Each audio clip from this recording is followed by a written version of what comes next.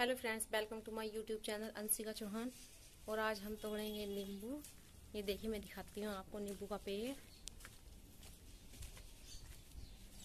ये रहा नींबू का पेड़। और ये देखिए, हमारे नींबू सारे पक चुके हैं ये।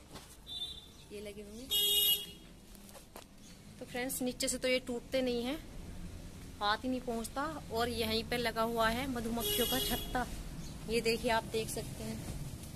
ये लग रहा दिख रहा है आपको? ये मैं दिखा रही हूँ इधर। ये ये तो नीचे से तो तोड़ना आसानी नहीं होगा। ऊपर छत पे तोड़ते हैं। छत पे तोड़ लेते हैं फिर छत उधर से टूट जाएगा। और इसके लिए मैं ले लेती हूँ एक। ये लकड़ी इस लकड़ी की सहायता से हम नींबू तोड़ेंगे। चलते हैं फ्रेंड्स हम छत पे।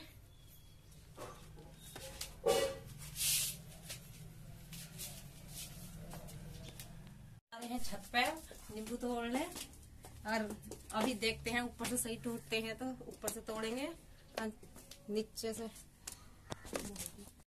तो फ्रेंड्स हम आ चुके हैं छत पे। ये देखो हमारे नींबू लग रहे हैं इधर और हम इन्हें तोड़ रहे हैं गया वो गाय की पन्नी पर अटक गया शायद। हो गया उधर।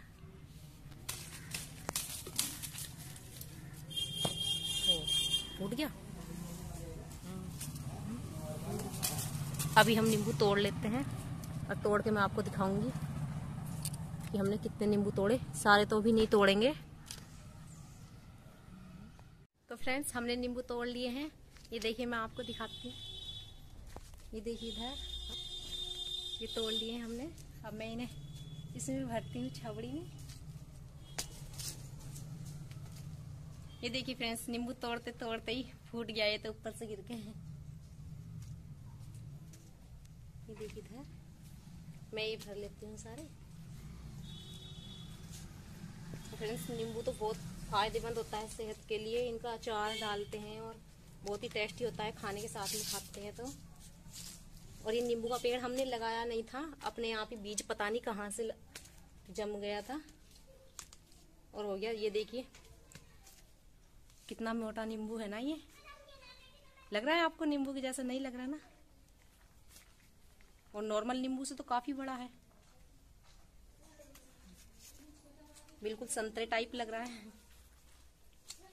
ये देखिए, इतने नींबू हो गए हमारे। मैं उठाती हूँ ये देख।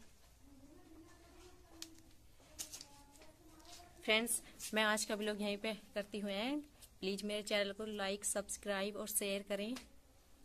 ये एक हाथ से मेरे अभी जा भी नहीं रहा है। मैं लेके जाती हूँ इसको घर।